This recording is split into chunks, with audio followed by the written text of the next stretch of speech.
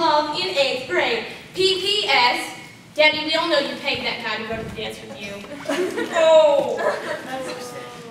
Jasmine was sitting on a bench, eating her third plate of refreshments. well, this is stupid. Suddenly, she heard a familiar voice. Hello, Jasmine. this was none other than Connor O'Hurley. Connor O'Hurley hadn't asked Jasmine to the dance, but he was a foreign exchange student from Cleveland. so, Jasmine, what are you doing here? Well, a bunch of people asked me to the dance. I asked a bunch of people.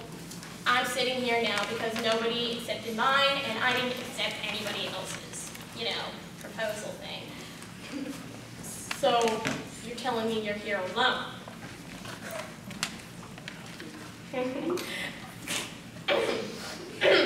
So, Jasmine, um, is it hot in here? um, no, they just turned on the AC. I think I'm just sweating. Yeah, you have a big sweat stain on your shirt. God, it's embarrassing.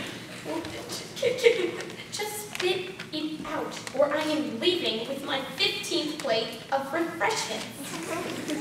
Will you go to the dance with me? What the heck? They were dancing to a famous song. Best friend brother is the one for me. BFB. Suddenly, there was a crash. Jasmine got hit in the head by a refrigerator. The end.